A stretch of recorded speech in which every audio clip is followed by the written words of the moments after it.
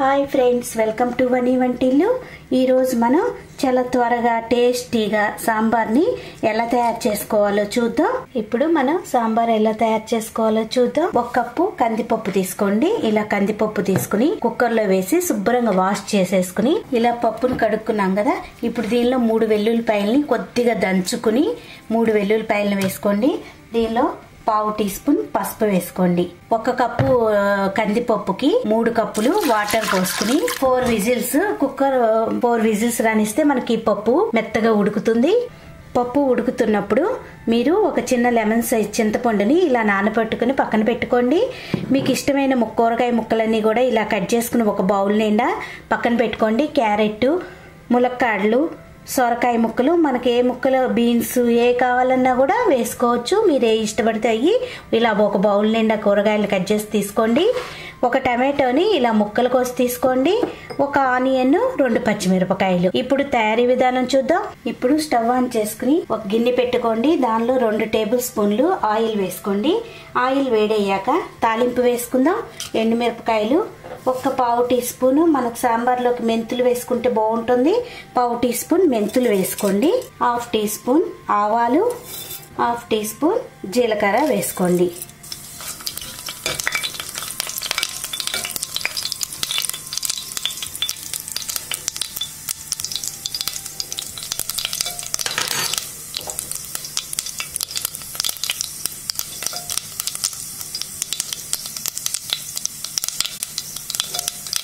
తాలింపు వేగాక కరివేపాకు వేసుకుందాం. దీనిలోనే ఉల్లిపాయలు పచ్చిమిరపకాయలు వేసుకోవాలి. కొద్దిగా ఇంగో వేసుకుందాం.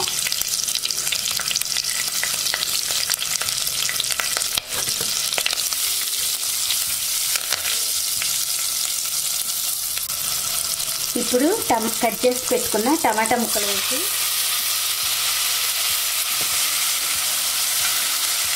వేగనివ్వాలి. టమాటా కొద్దిగా వేగాక దీనిలో మనం పప్పులో పసుపు వేసి ఉడికించుకున్నాం కదా దీనిలో కొంచెం పావు టీ స్పూన్ పసుపు వేసుకోండి. ఇప్పుడు మనం కట్ చేసి పెట్టుకున్న కూరగాయ ముక్కలన్నీ కూడా వేసుకోవాలి.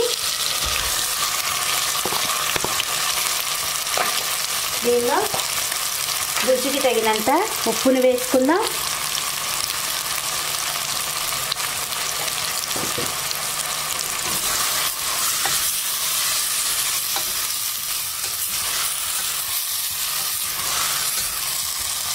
కూరగాయల్ని కొద్దిగా రెండు నిమిషాలు వేగనివ్వండి. కూరగాయ ముక్కలు కొద్దిగా వేగాక దీనిలో మీ స్పైస్ని బట్టి కారం వేసుకోండి. నేను ఒక హాఫ్ టీ స్పూన్ కారం వేసుకుంటున్నాను. అదేవిధంగా వన్ టేబుల్ స్పూన్ సాంబార్ పొడి వేసుకోవాలి.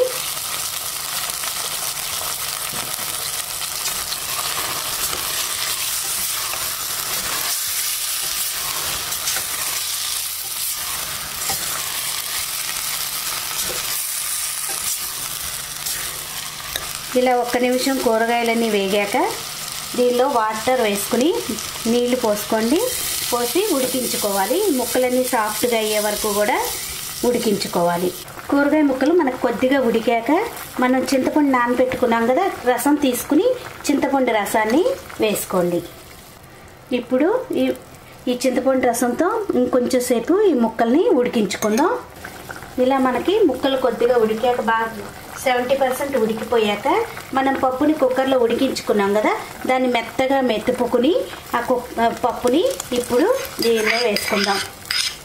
ఇలా పప్పు అంతా వేసుకుని మీకు కావాల్సినంత థిక్నెస్ వరకు కూడా వాటర్ని పోసుకోవాలి. ఇలా వాటర్ని పోసుకుని దీన్ని ఇంకాసేపు మనం బాగా కాగనివ్వాలి. సాంబార్ ఇలా మనకు బాగా కాగినాయి కదా. ఒక్క ఐదు ఆరు నిమిషాలు ఇలా బాగా మీరు కాగనిస్తే మనకు సాంబార్ మంచి టేస్ట్ వస్తుంది.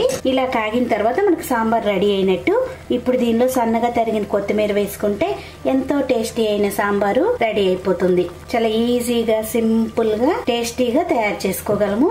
మీరు కూడా ఇలా చేసి చూడండి. ఈ వీడియో మీకు నచ్చినట్టయితే లైక్ చేయండి షేర్ చేయండి కామెంట్ చేయండి. మరిన్ని వీడియోల కోసం వనీ వంటిల్ని సబ్స్క్రైబ్ చేసుకోండి.